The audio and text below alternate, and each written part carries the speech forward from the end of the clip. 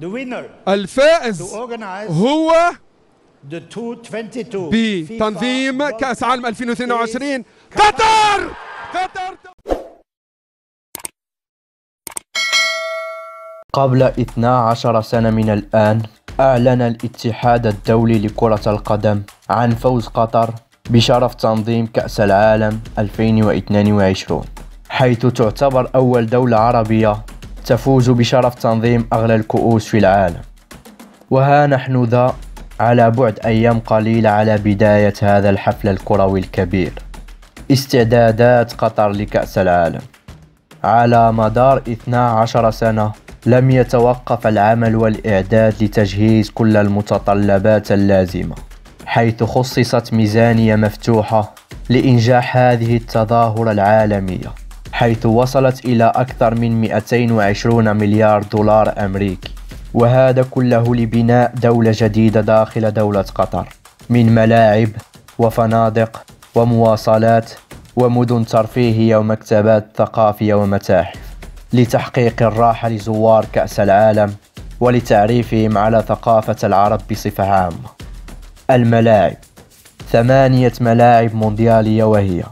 استاد البيت في مدينة الخور. سعته ستين ألف متفرج. استاد لوسيل. في مدينة لوسيل. يتسع لثمانين ألف متفرج. استاد أحمد بن علي. في أم الأفاعي. سعته أربعين ألف متفرج. استاد الجنوب. في الوكرة. سعته أربعين ألف متفرج. استاد الثمامة. في الثمامة. سعته أربعين ألف متفرج. استاد المدينة التعليمية في الريان. سعته أربعين ألف متفرج. استاد خليفة الدولي في أسباير. سعته أربعين ألف متفرج. وأخيرا استاد 974 في رأس أبو عبود. سعته 40 ألف متفرج. الفنادق. تسعى قطر لتأمين أفضل الخدمات خلال المونديال. فنادق عالية الجودة للاعبين ومنتخباتهم والمشجعين المرافقة لهم.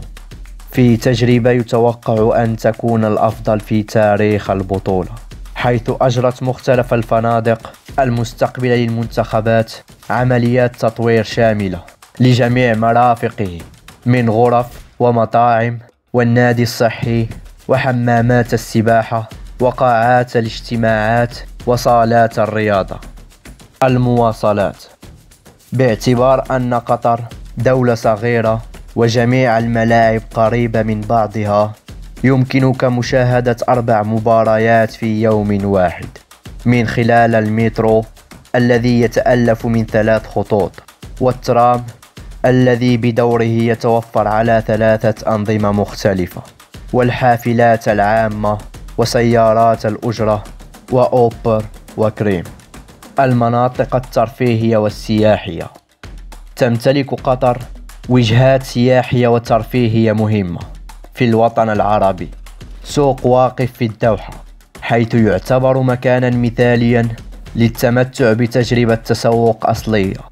جزيرة اللؤلؤة وهي وجهة مثالية للعائلات لاحتوائها شقق سكنية وحدائق بالإضافة إلى محلات تجارية. كورنيش الدوحة حيث يتمتع بإطلالة ساحرة على بحر العرب وخليجه. مكتبات ثقافية ومتاحف.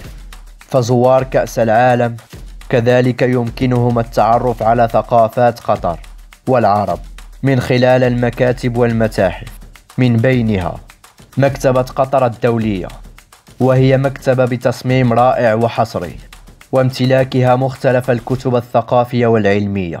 وكذلك يوجد المتحف الإسلامي الذي يوجد فيه مختلف التراث الإسلامي القديم والحديث لتقريب الزوار من الثقافة الإسلامية وهذا لكي تعتبر قطر الدولة التي ستستضيف أحسن كأس عالم على مر التاريخ.